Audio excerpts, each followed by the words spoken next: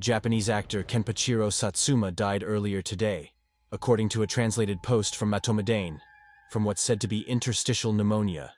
The 76-year-old actor is best known for portraying various monsters during Godzilla's Heisei era, including the lead monster himself. Satsuma was born May 27, 1947, under the name Yasuaki Maeda. He started acting in the 1960s in bit parts for movies like Incident at Blood Pass. In 1971, he made his debut in the monster movie scene with Godzilla vs. Hedorah, where he played the latter monster. He would then go on to be the suit actor for Gigan in Godzilla vs. Gigan the following year, along with 1973's Godzilla vs. Megalon and the tokusatsu series Zone Fighter.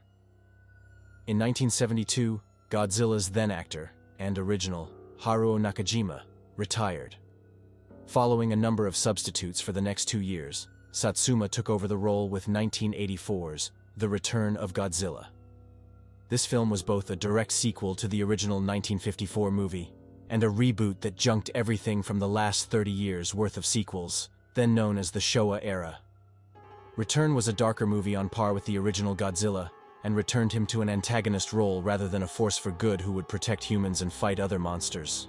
Satsuma would continue playing Godzilla from 1989's Godzilla vs. Biollante up until 1995's Godzilla vs. Destoroyah, during which he'd regularly pass out while wearing the suit due to a lack of oxygen. He highlighted verse, Destoroyah as the worst culprit of this, once saying in the late 90s that he could see the gates of hell several times,